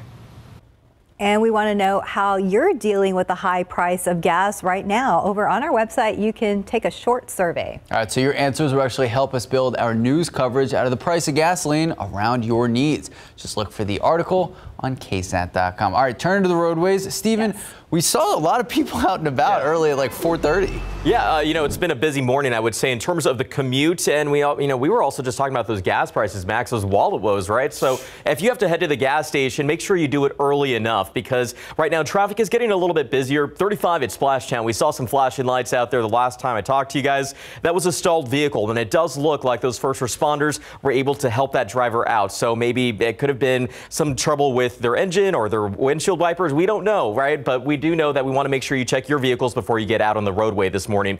Uh, let's show you the wide look at the map because things look fine just uh, so far, but we know that there are those active construction spots and we're going to continue to bring those up. Here's one that we want to mention to you that's going to be taking place a little bit later this morning. 410 on the west side of San Antonio, concrete work that is actually happening. Now, this is current up until June 20th, so we still have a few weeks to go of this, but keep in mind, TxDOT reports that will start at 8 in the morning and last until 5 in the afternoon, but we know those crews get out there a little bit earlier. Uh, during that time, we can expect an alternating closure of the turnarounds in both directions right there at Culebra Road. So, of course, plan your commute accordingly, but as I mentioned, make sure your vehicles are also working properly. Stalls seem to be the trending trouble at this hour, but thankfully, right now, all is clear here off 35 at Splashtown, guys.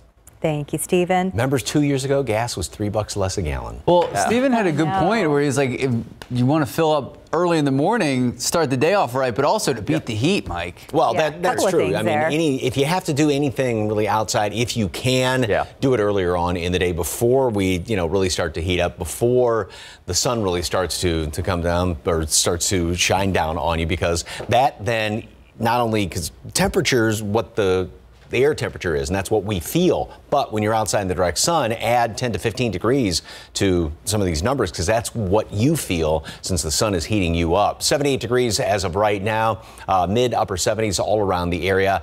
Look at the top number, dew points at 70, so a lot of uh, lot of humidity out there, a lot of moisture in the air. Wind out of the south at 13 miles per hour. It's going to be breezy again today, probably not quite as breezy as the past few days. We did have our morning clouds, and most of them cleared on out, but right there around sunset, Mr. McClellan over by Woodlawn Lake. Got a beautiful view of some of those uh, colors with a few of those high, uh, mid-high clouds still hanging around here. So beautiful picture. Thank you for that.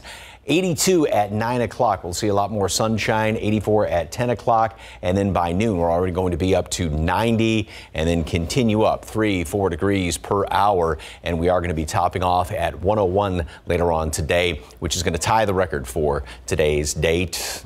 At least it won't be 104 like the past couple of days, which was the situation yesterday. Hondo, Pleasanton both at 105 and 110 in Cotulla. Today, temperatures will be and maybe a degree or two down from where they have been the past couple of days. We're looking at upper 90s and low hundreds all around the metropolitan area. Still, um, on average, uh, 8, 10 degrees above respective normal high temperatures. That area of high pressure is keeping things just stuck in this this rut, if you will, keeping us very, very hot, keeping any sort of rain away from us, and it keeps all these upper level wind lines. That's where the main flow in the atmosphere is. That stays way up there to the north of us. That's where any rain would be. Um, obviously, that's kind of the dividing line between cooler air and the very hot air down here. So that just stays up there. Notice how this thing does not move. So our weather does not change all the way through the rest of the week into the weekend. Now, by next week, it does show signs that this high center wants to kind of shift off to the east of us a little bit more. And so that would put us in this around the clockwise flow into more of a flow coming in here off the Gulf of Mexico. So there's some thinking, some hope that that would then help to drop temperatures down a little bit. Maybe get some disturbances trying to come on in here to give us a chance at some rain, but that's, uh, I think, wishful thinking as of right now. But we'll, we'll just kind of wait and see if anything will change by next week. But as of right now, it looks like we are going to be stuck in triple digits all the way through at least the middle of next week. 90 at noon, mostly sunny skies. High temperature today makes it up to 101, ties the record. A lot of sunshine out there. Again, breezy. No formal uh, heat advisories are posted today, but obviously, if you're outside, like we were talking about, if you want to you know, fill up the tank, walk the dog, anything trying to do it earlier on in the day so you don't just get overwhelmed by that heat when you step outside. Triple digits all the way through the weekend into next week. A couple of those days are going to be a lot closer to hitting or setting new records than the other days. And again, like I said, I don't know if that's a good thing. Don't forget, Tuesday is Flag Day. That's so right. It's kind of like a laugh now, cry later kind of thing. Sort of like, yeah. Yeah. I like how you put that Drake song. Yeah, there. Thanks, Mike. That's Aubrey Graham. He's a singer, just in case Yes. you didn't know. 622, 77 degrees all those out. albums. And still ahead on GMSA, a new high-tech Taco Bell is set to open today in the Midwest. We're going to tell you if one could be coming to San Antonio. Oh.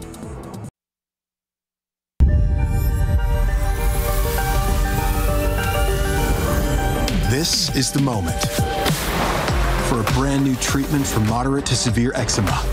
Cibinqo, now FDA approved. 100% steroid free, not an injection.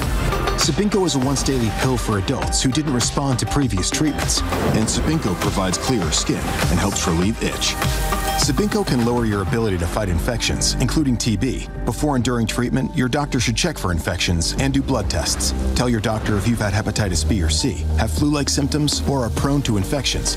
Do not take with medicines that prevent blood clots, serious, sometimes fatal infections, lymphoma, lung, skin, and other cancers. Serious heart related events and blood clots can happen. People 50 and older with heart disease risk factors have an increased risk of serious heart related events or death with JAK inhibitors. This is the moment, but we've only just begun.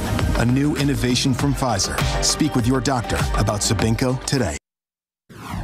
And happening today, a one-of-a-kind Taco Bell restaurant opens in Minneapolis. Four drive-through lanes have vertical delivery tubes, which brings the orders from the kitchen to your vehicle, kind of like a bank. So customers can order at a kiosk in the drive-through lane or through an app. Taco Bell hinted the new restaurant will be coming to other states very soon. So Stephen Cavazos brought up a great point earlier this morning. I don't think we need a Taco Bell like that here in San Antonio because we have so many great other taco options. Well, that's true as well, but I guess, you know, maybe for the people who do go to Taco Bell, this will Mm. be quicker and faster. Boom. What did they, two minutes? Yeah. Is that what they're trying to Pretty get in? quick, but like I said, I don't know about those nachos. They're going to be everywhere. Time now, 626, 77 degrees out. and still head on GMSA.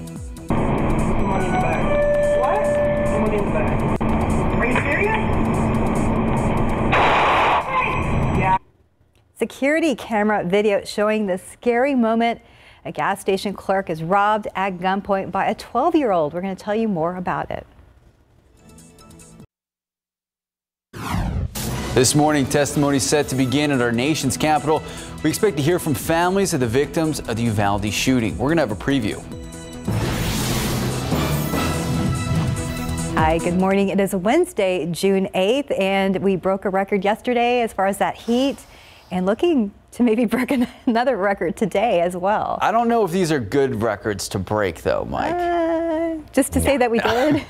Again, if you're going to be up in triple digits, do you want to break records? Just so it means, I don't know. But we are going to be tying a record again uh, today. We're still going to be in triple digit temperatures. And it's not looking like we'll hit 104. That's what really matters. Uh, we've got some clouds hanging around here right now. Still going to be very high. We've got a lot of humidity around here this morning. Temperatures at 78 and that number, which did dip down into the upper 50s, low 60s yesterday, came back up. The dew point, the measure of moisture in the atmosphere, wind out of the south at 13 miles per hour. Still breezy today, not quite as, as windy as the past couple of days. Here's our, uh, well, the moisture loft in the atmosphere, and this is helping out with some of those low mid-level clouds that we have around here. And they'll be sticking around throughout mid-morning, then start to clear on out. Molds on the low side from yesterday's allergen uh, count, pollen count. That's going to, the updated reading is going to come out in about, uh, say, an hour, hour and a half or so. So some clouds hanging around here this morning. Very warm, very humid. We are about six, seven degrees above normal.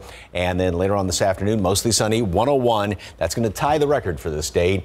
So that'll be three records in a row that have either been set or tied. And then triple digit temperatures continue tomorrow as well as on Friday and go into the weekend. Still going to be blazing hot, and it's still looking like the triple digit readings are going to be uh, going on into at least about the middle part of next week. We'll see if we can muster up any sort of change down the road. Traffic Authority, Stephen Cavazos, what's going on? Not a whole lot, Mike. It's actually been a pretty nice morning as we've been seeing here on the roadways. I-10 at the Y, really like this shot here. You can see the skyline of San Antonio and you can see the drivers in this shot making their way through without any trouble. So thankfully, we've not spotted major issues that would cause any trouble for drivers that have to head out in the next few moments. So maybe go grab that cup of coffee, but give yourself plenty of time. Let's talk about what we're seeing here on the map. We talked about construction. We did have maybe one or two crashes that quickly cleared out, but the trending problem really has been a lot of these stalls that we've been seeing around town.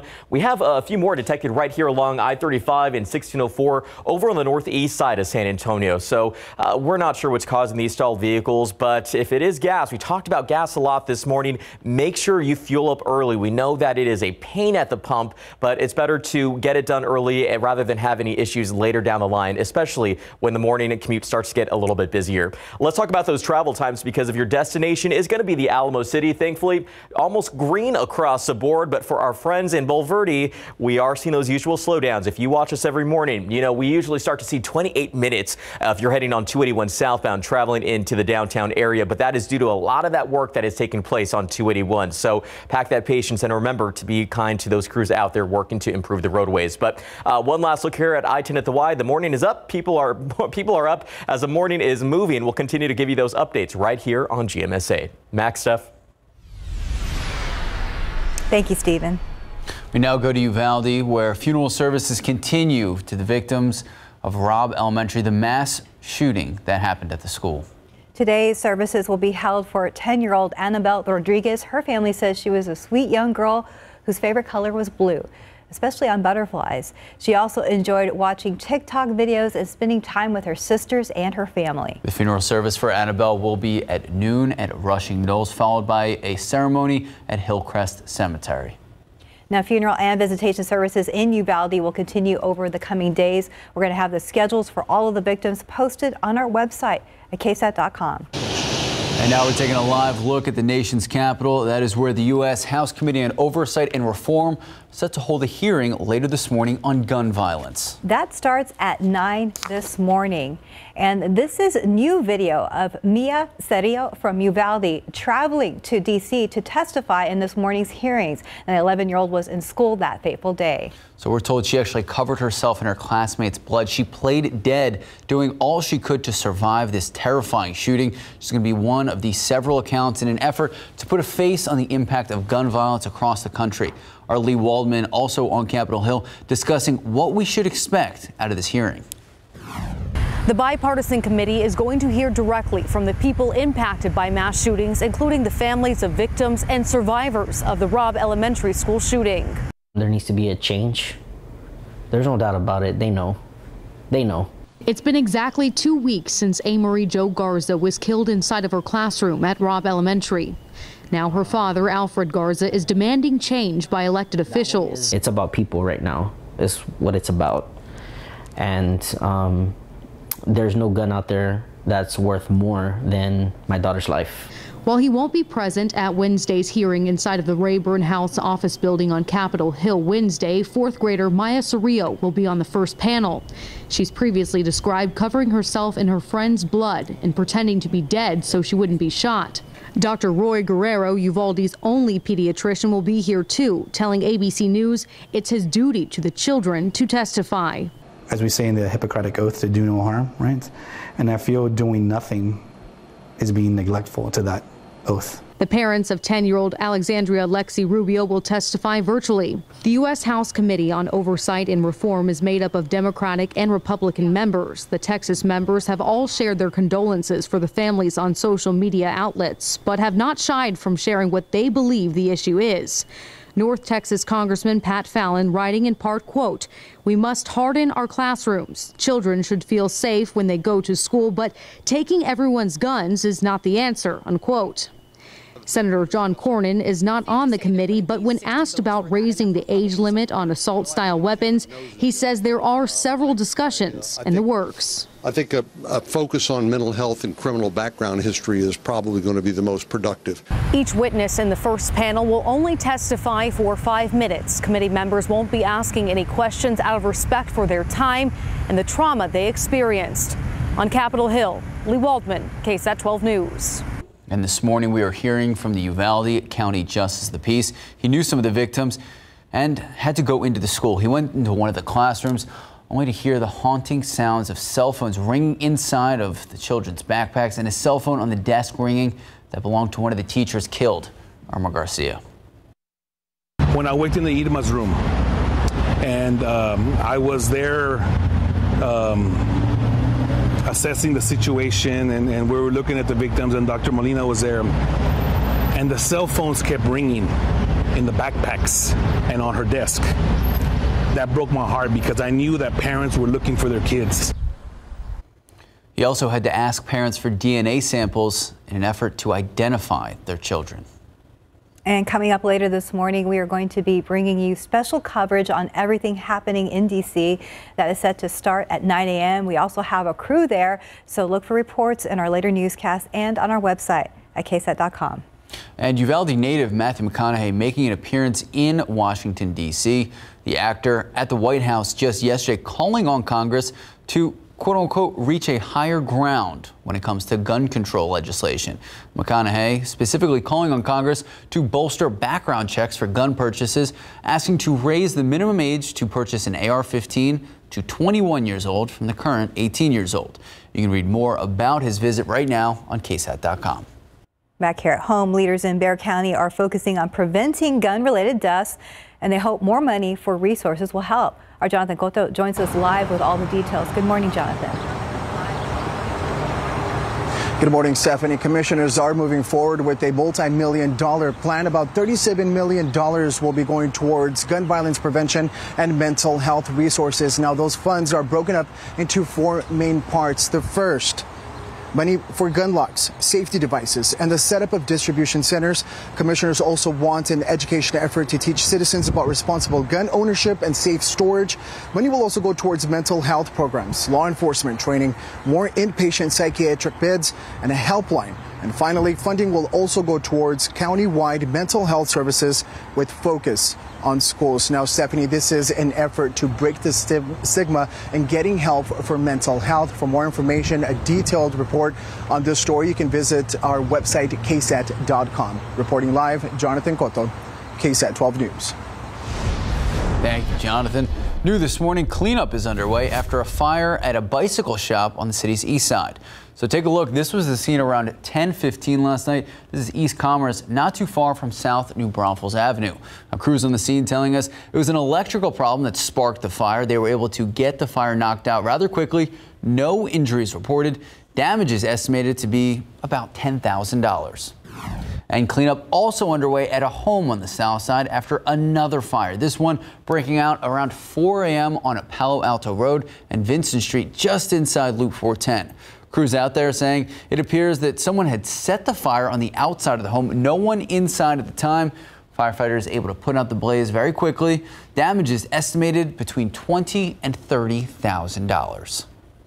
Also new this morning, two men are in the hospital after an overnight rollover crash. This happened just before 1 in the morning in the southbound lanes of I-35 near North New Braunfels Avenue.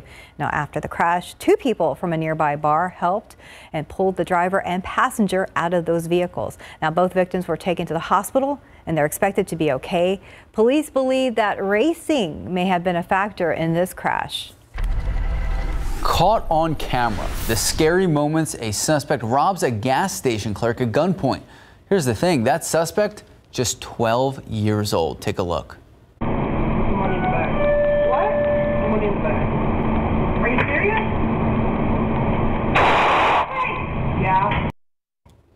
This all unfolding in Hartford, Connecticut. Police there say the suspect you see in the video stole a handgun from his stepfather's locked gun case, used it to steal nearly $3,800 in cash from that gas station. Officers later finding the suspect. They say he did not resist arrest. So far, the motive to the robbery seems to be unclear, but the suspect allegedly telling investigators he did not do it for the money, that he just wanted to go to juvie. Right now, he is facing seven felony charges. Time now just about 642, 77 degrees out. And just ahead on GMSA, we're going to introduce you to a bright young woman from East Central High School. Welcome back. Continuing with our Great Grad series today, we look at a high school senior who is far beyond her years and she's described as a natural born leader. So this student is coming out of East Central High School, and our Jonathan Cotto joins us live this morning to talk more about her. And now, Jonathan, we know you have worked on a number of great grad stories, but you tell us that this one was a real standout. Good morning, Stephanie. Good morning, Mark. Max, that's right. You know, photojournalist Stephen Chavez and I had the opportunity to spend some time with Amina Washington, and I can tell you from the moment we arrived on campus, she was just a go getter, a hard charger that really led the way and really told a great story. Let's take a listen. Amina Washington was born in Nebraska to military parents and as a military child moved from state to state on a regular. We moved around a lot. I went to Maryland, I went to Arizona, and then um, you know, they got divorced. I moved in with my dad in Texas, and I came to East Central. As if starting high school didn't already come with a number of fears and challenges for Washington, starting freshman year was beyond daunting. She'd be the new girl at East Central High. So it was kind of interesting, interesting dynamic. Didn't really know a lot of people. And you know, when you move from place to place, you don't know if people are going to like you or understand your jokes. So I was very anxious and shy. But it would be only a matter of time before Washington would learn to make East Central her new home. So I joined ROTC my freshman year, ninth grade year, and I didn't really know if I would fit in or I didn't know if I would be too weird or people would understand me. So I just kind of sat by myself, but then I slowly got more involved into the program. And it was exactly that involvement with JROTC that would help ease the anxiety of being the new kid at a new school in a whole new state. The program made making friends a little easier for Amina. So I felt comfortable to open up about my life and about my journey and how I got there. And it made some really real friendships and some deeper connections than I've had anywhere else.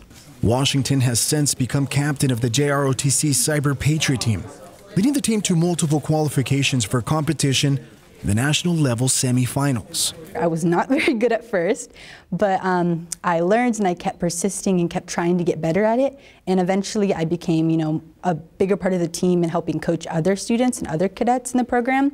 She has also been able to balance schoolwork along with forming part of the Beta Club, Writers Guild, University Interscholastic League, and the East Central Go Green team, all while maintaining a 4.0 GPA, landing her a spot as a member of the National Honor Society. Amina um, in ninth grade would not be here right now. I wouldn't be sitting here. I wouldn't have the motivation to be where I am now. But I'm so happy that, you know, this time at East Central has made me into the person I am today. Amina Washington will be off to Texas A&M University at Prairie View in just a few weeks where she plans to major in computer science and cybersecurity and plans to one day make her mark in the world working for the Department of Defense, the NSA, or NASA. Jonathan Cotto, KSAT 12 News. Thank you, Jonathan. Well, let's get a look at the roadways. Right now, we do have a stalled vehicle there off 30 I-10 at Hackberry. Pardon me, as we get a wider look at TransGuide. Now, we're not able to see it because of the signage up there, but uh, there are some flashing lights. It looks like a TxDOT Hero truck working to assist that driver. Uh, that is what we've really been spotting. A lot of those stalled vehicles out there, so just make sure you check yours before you get out on the road. Quick remind, a quick uh, heads up, we do have some road debris off I-35 southbound at Rittiman Road, so make sure if you see that, you move over or slow down. But back here, just some car trouble. We'll continue to watch the roads closely and have more updates before the show wraps up, Mike. We were talking about yesterday, thank you, sir, how it was the first quarter moon. Beautiful picture of that. It is, of course, in its waxing uh, cycle, and so the full moon is going to be in just a little bit less than a week on Tuesday, on Flag Day. So thank you very much for the KSAT Connect picture, and uh, I think we need to clean that lens. But as you can see, it is kind of hazy out there. Some of our morning clouds, we're already starting to see some sunshine peek on through. 78 in town, 79 Stinson, low to mid 70s out towards the uh, hill country. And we've got a, well, an okay breeze right now out of the south at 10, 15 miles per hour. It will still be breezy today. I don't think as windy as the past couple of days. Temperatures will continue up and through the upper 70s, low 80s over the course of the morning. We'll end up at 90 at noon. A lot of sunshine and then finish up the day 101 new or excuse me tying the record for today's date of course, the past couple of days, both 104 and both of those were new record high temperatures for yesterday and the day before that. Uh, satellite picture all the clouds up to the north of us, and nothing is coming around here because you can see all these clouds are moving just about straight west to east. Checking out the tropics real quickly, nothing. I mean, we've got a few clouds out there in the Atlantic Basin, but Hurricane Center is not picking up anything, or even in the next five days, it doesn't look like there's going to be anything forming out there as far as the tropics are concerned. That high is sitting right on top of us, and that's what's pushing down to the atmosphere, and that's what's keeping things so hot. And this thing just does not move over the next few days, so temperatures don't move over the next couple of days. We're going to stay in triple digits. These lines right up there to the north, that's kind of the main flow where all the activity is, and that stays well up there in the north northern portion of the country. The hope is that as this tries to slide off to the east a bit more going into next week, that we would get more of a flow coming in here off the Gulf of Mexico. Maybe a little bit of a disturbance would try and slide on through here and give us at least a chance at uh, some rain or slightly cooler temperatures by the latter part of next week. But right now, got to say at best, it's wishful thinking. 90 at noon, mostly sunny skies. High temperature 101 set there ties the record, pardon me, and a bit of a breeze out of the south today. We stay in the triple digits for high temperatures all the way in through rest of the week, the weekend, and right now through Flag Day on Tuesday. Steph, Max. We will power through it, Mike. Thank you. Thanks, Mike. 651, 77 degrees out. And just a reminder this morning that we're going to be bringing you special coverage on everything happening in D.C. It will begin at 9 a.m. We will also have a crew in D.C to look for those reports in our later newscasts and on ksat.com. And let's take one quick live look out at the Alamo City. Oof. A lot going on out there. You can almost feel the heat coming in. We're going to check in with Mike and Steven one last time in just a bit. In your GMA first look, as catalytic converter thefts continue to rise, many states are now enacting laws that they hope will deter thieves. Those details are coming up at 7 a.m. right here on KSAT 12. All right, if you're about to head out the door, Stephen Cavazos has everything you need to know. Well, we do have some road debris out here. Max, Steph, let's get a look here. One last look at TransGuide. Blurry shot, but you can see those flashing lights out there. There you go. Uh, we do have some road debris that was detected in that area, and our friends at TransGuide saying that's going to be clearing up pretty soon, but we want to make sure that you stay alert. We still see those uh, responders out there. TxDOT Hero truck. Keep in mind, that's off I-35 southbound at Rittiman Road, but other than that, things seem to be moving just fine as we get one last look here at TransGuide. We're going to continue to watch the roads closely. It's been a pretty nice morning, Mike Osterhage. Nice and warm and humid, and then hot later on today. There's some of our morning clouds, still 78 degrees out there at the airport, six above normal. 90 at noon, 101 ties a record today and southerly wind 10 to 20 miles per hour. And we are going to stay in triple digits all the way through the rest of the week. All right, triple digits again. We'll, we will survive. Thank you, Mike. Thank you, Mike. Thank you, Stephen. Thank you for watching. We'll see you back here at 9 a.m. Remember, we're going to have that special coverage of the hearings in Congress on gun violence across the country. So hopefully we see you back here 9 a.m.